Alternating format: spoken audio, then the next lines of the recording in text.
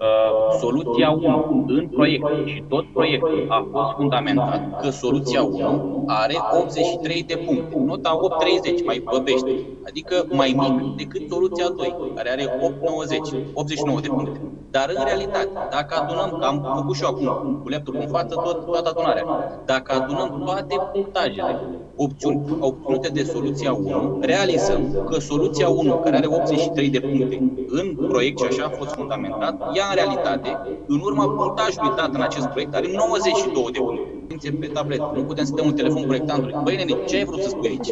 Păi de ce n-ați plecat domnul cu băuma în vârf? Păi de ce n-ați plecat domnul cu băuma în vârf? Păi de ce n-ați plecat domnul cu băuma în vârf? Domnul Boșneac, Mă scuzați. ora păcătosului adevăr grești. Păi de ce n-ați făcut-o până acum? Domnul Deci asta a acceptat ședința ca să stăm uh, jumătate de oră până vă gândiți dumneavoastră și faceți calcule, când puteți să faceți această analiză mai devreme, o discuție. Uh, am să vă propun uh, votarea proiectului cu îndreptarea erorii materiale respective, o eroare materială legată de un calcul aritmetic și nu o eroare legată de proiect.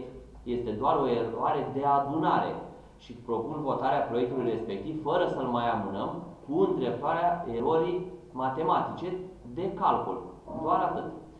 Uh, Nu are niciun sens să extrapolăm acum să ajungem la drumuri din beton în municipiul Brăila, cu cât nicăieri în municipiu nu avem drumuri din beton, iar nici în alte orașe nu există în momentul de față drumuri din beton. A fost aleasă această variantă a îmbrăcăminții asfaltice, covor asfaltic, pentru că peste tot, pe străzi, avem astfel de variante. Din punctul meu de vedere, nefiind o zonă a centrului istoric, putem să vorbim într-adevăr și de ceea ce înseamnă eliminarea zonelor din piatră cubică și rămânem pe varianta de asfalt care nu produce vibrații, este mult mai ușor de exploatat și intervenit pe ea.